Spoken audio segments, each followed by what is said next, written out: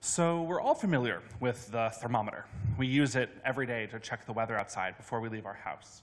But what many of you may not be familiar with are the kinds of thermometers that we can use to check uh, the temperature and how it's changed in the past. These kinds of thermometers, called paleoclimate proxies, track changing climate conditions through time, which enables us to look into how past human systems and ecosystems responded to climate change, which then helps us figure out how to prepare for a future climate change.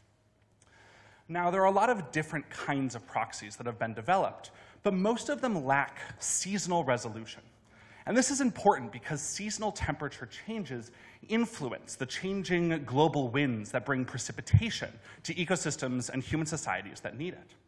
But there is one proxy that has the resolution that we need snails. You see, when snails precipitate their shells, they incorporate a record of the sea surface temperatures at the time of shell growth.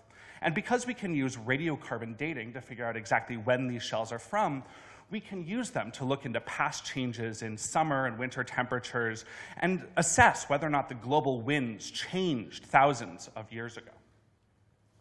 Now, I decided to take this proxy and apply it to a region of the world that has been historically understudied, North Africa.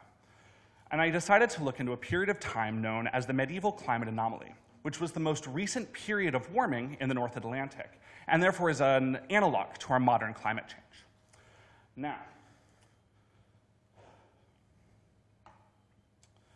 what we found was that in North Africa, during the medieval climate anomaly, we have significant drought, which contrasts with the warm, wet conditions that we see in Europe.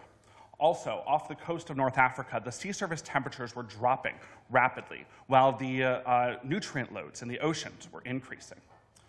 And what this means is that the local population was dealing with a drought that was unprecedented in other areas of the world. Also, these kinds of droughts have been shown to cause ecosystem and societal collapses in other civilizations in the past. Our modern climate models tell us that these same telltale signs of climate change are happening again. Europe is once again getting wetter, or yeah, getting wetter, while North Africa is getting drier. And this will eventually lead to increased resource insecurity, uh, ecosystem collapse, and geopolitical instability.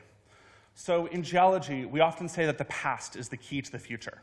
But I want to add to that and say it is our responsibility to use these past records in order to create a future that is sustainable for everybody.